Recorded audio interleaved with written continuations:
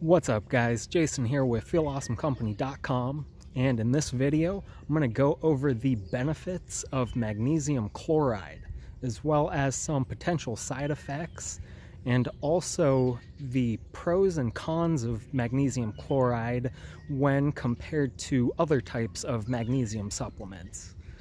Now before I jump into the video, if it's your first time here, welcome, I'm Jason and this channel is all about health, nutrition, supplementation, and everything to help you feel awesome.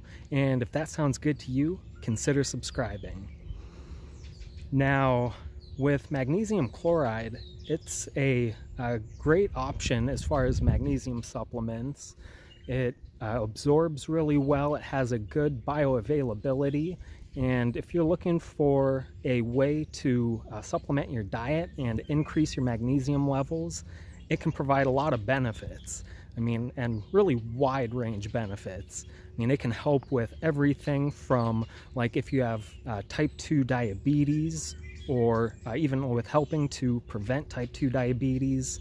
Uh, it helps with muscle function, athletic performance, energy levels, uh, helps to support heart health. It's good for bone health. Uh, can support a healthy mood and reduce things like stress, depression, anxiety. Uh, can help with relaxation and just a lot of different things that magnesium's good for. It also helps with uh, like the absorption, metabolism, uh, metabolization and usage of other certain nutrients, uh, such as like vitamin D, for instance, and just hundreds of different biological functions. And magnesium chloride does a really good job at increasing your magnesium levels. Now, with that being said, there are some potential side effects to taking magnesium chloride. And so uh, the main one is that and this is really when uh, taking any type of magnesium supplement is that magnesium chloride can have a uh, somewhat laxative effect, even though it does absorb well and uh, it's pretty low chances that it's going to cause a laxative effect, uh, but that is still a possibility. And then you might also uh, experience things like a little bit of like an upset stomach and a little nausea as well. Now, these side effects aren't very common, and if you do experience them, they are typically pretty mild. Uh, so not not too much of a concern there. Now, if you're looking into magnesium chloride and you've also been checking out uh, just magnesium supplements in general, you've probably noticed that there are a lot of different types of magnesium supplements out there.